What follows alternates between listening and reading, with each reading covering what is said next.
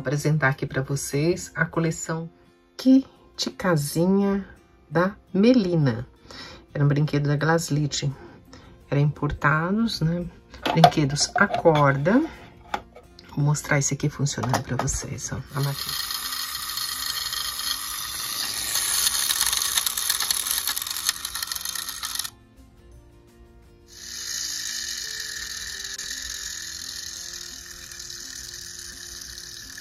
Acredite, de toda essa coleção que eu consegui unir, a única que tá funcionando a corda é a maquininha de lavar. As outras a corda já, já não funciona. Esse ainda funciona um pouco, mas já não faz barulho.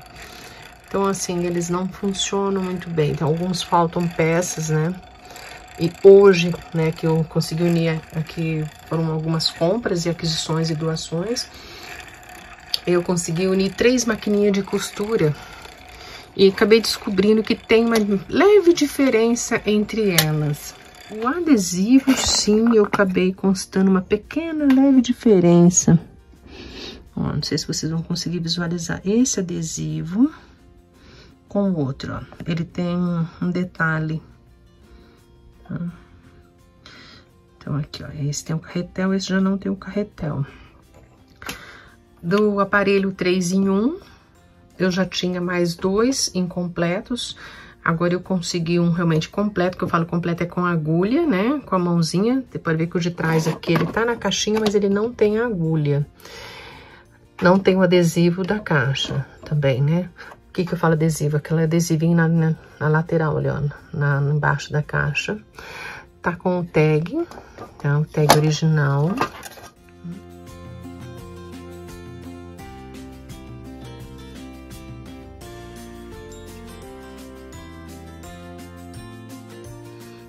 E o aparelhinho de som completo. Né? Então, com a caixa, tudo, e a procedência de onde foi comprado ainda. Etiqueta de, de, de, onde foi comprado, então aqui tem Jumbo Eletro e Casas Tilibra. Eu acho que a Casas Tilibra veio agora de Bauru. Esse esse veio aquisição de Bauru. Os outros foram de outras, de outros lotes, de outras vindas, de outros brinquedos, de outras crianças, né? Então aqui são Aqui acho que tem de umas cinco crianças, vamos dizer, brincar, brinquedos brincados de cinco crianças diferentes, né? Então, eu falo, foi aquisições, compra, doações, aqui tem de tudo um pouco. E era uma coleção que eu sempre, assim, procurei ter um pouco, é, porque eu gosto de miniatura e já usei para fazer cenários com a Suzy, né? Esse aparelhinho de 3, 3 em 1, já usei a batedeirinha, já usei algum brinquedo, algum desses brinquedos já foram usados para fazer cenário das minhas bonecas. Eu gosto dessas miniaturas porque elas são umas, tipo, réplicas perfeitinhas, vamos dizer assim. Esse tamanho já não dá tanto, mas um aparelhinho de som para Blight, é, para alguns tipos de boneca a gente consegue trabalhar. Então tá aqui, ó, coleçãozinha Kit Casinha. Não tive esse, é, não tive essa coleção na minha infância. Eu lembro de ter brincado com de outras crianças.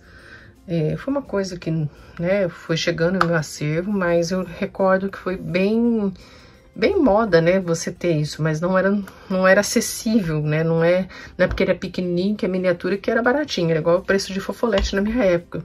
O preço de fofolete também não era uma coisa acessível para os pais estarem comprando, né. Ah, então é bacana, quem ganhou né? As crianças que tiverem esse acesso a brinquedos, são bacanas as crianças que deram oportunidade para as outras brincarem. Né? Eu tive amigas de infância que, que me compartilhavam seus brinquedos, né? Que sorte a minha. Acho que é por isso que eu tenho uma boa memória, porque eu brinquei muito, muito, mas brinquei muito com, com os brinquedos alheios. Então aqui, conhecendo um pouquinho mais da coleção, Agora eu vou guardar todos eles, né, nas suas res respectivas caixinhas. As caixinhas, elas têm formatos, tá? Elas têm formatos para você, formatos diferentes. Então, dependendo do formato que você encaixa o brinquedo, ó, tá vendo? Ali já é diferente o encaixe dele. Então, né, ó, esse já é igual, esse aqui. Então, eu vou encaixar os brinquedos.